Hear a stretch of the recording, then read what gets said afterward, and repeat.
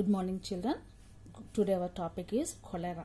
In this topic, there are seven side headings are there. Number one side heading is introduction. Here, the cholera is caused by the bacteria known as Vibrio cholera.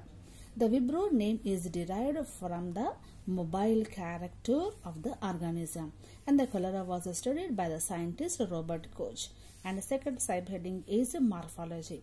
These bacteria are gram-negative bacteria, and the bacteria is not covered by any capsule. That's why these are the non-capsulated and the bacteria can tolerate up to 7.1 sodium chloride and the pH is 8.2 but they can grow up to a pH 10 also.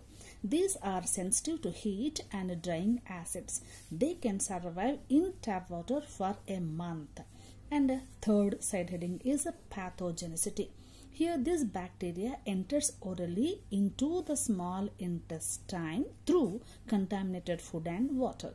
They multiply in the alkaline contents present in the intestine and releases the toxins. These toxins are responsible for cholera.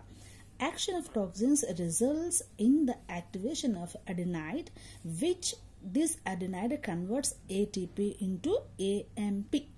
This leads to increase the levels of cyclic AMP which disturbs the electrolytic balance.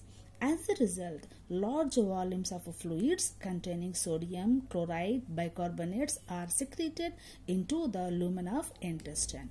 And the next fourth setting are symptoms of the cholera.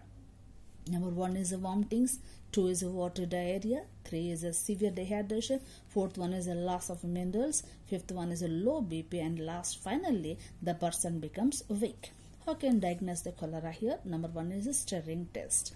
When the colonies are bacteria mixed with the deoxycholate, the colonies forms as a string when the top port is uh, draws from it and sixth point is the treatment. There are two types of treatments are the number one oral rehydration therapy giving the fluids and electrolytes to the patient. And second one is antibacterial therapy. Here the tetracycline and the chloramphenicol are the drugs. Uh, reduces the colonies or the bacteria. And the last point is the prevention. Here there are two steps environmental sanitation and that means we have to maintain pure hygiene. And the second one is the vaccination. Thank you